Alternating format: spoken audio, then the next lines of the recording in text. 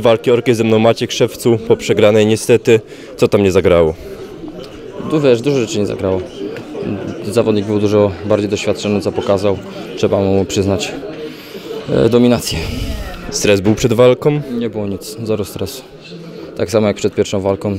Myślałem, że przed pierwszą walką to było przez to wszystko, co się działo dookoła, że nie było, wiesz, nie było czasu się skupić na walce, no, ale tym razem sobie udowodniłem, że to nie przez to, że lubię chyba to robić, lubię wychodzić, tylko po prostu no, ta różnica doświadczeń mnie przygniotła i trzeba to przyznać. Jak miałeś swoje momenty w walce, tam udało Ci się zrzucić go za pleców, jednak no, widać było trochę, no mocniejszy był technicznie w tym parterze. Dużo, dużo, dużo lepszy był technicznie, co zauważyłem, ale tak jak mówię, nie pamiętam do końca, co się działo podczas walki. Byłem, przepraszam, byłem w amoku i musiałbym to na chłodno obejrzeć. Zaskoczył Cię czymś? Nie, niczym mnie nie zaskoczył. Po prostu był lepszy i, i to pokazał.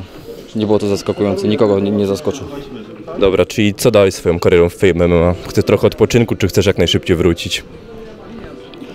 Chciałbym na, na tej dziesiątce zawalczyć z kimś, wiesz, no zobaczymy, czy dostanę szansę. Mam teraz bilans 0,2 i, i wiesz, też jakichś tam zasięgów dużych nie mam, że no nie wiem, no jakby ludzie chcieli pooglądać, tylko tak jak mówię, no najlepiej jakbym powalczył z kimś z podobnym doświadczeniem i z kimś, kogo nie darzę sympatią, bo to też lepiej by się oglądało na pewno. Myślę, że jednak ta agresja y, będzie trochę dla Ciebie bardziej pomocna niż wychodzić na zimno, powiedzmy, to od zawodnika. Nie o to chodzi, czy agresja pomocna, tylko chodzi o to, że też nie chcę na tych konferencjach siedzieć i, i sobie, wiesz, e, mówić, że oby bez kontuzji, oby to, że było fajnie, tylko no też chciałbym z kimś jakąś wymianę zdań zrobić. Nie mówię, że wiesz, że tam pajacować, rzucać stołami czy coś, tylko po prostu jakąś tam kulturalną wymianę zdań. Tylko żeby było troszkę właśnie więcej agresji. Czyli uważasz, że to był trochę taki mismatch pojedynek z Gamu? Czemu? No, że tak mówisz, że, że przepaść techniczna i że ani złej krwi nie było.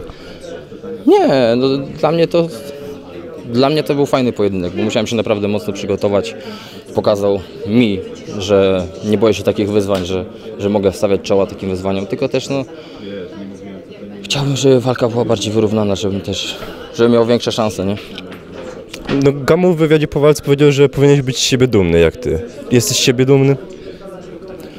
Ciężko mi być z siebie dumnym, wiesz, ja sobie zawsze daję e, wysoko poprzeczkę i dużo od siebie wymagam. Także mogłem więcej zrobić. Dobrze, mam nadzieję, że na pewno będziesz miał jeszcze szansę. Dzięki wielkie Maciej Szewcu. Dzięki.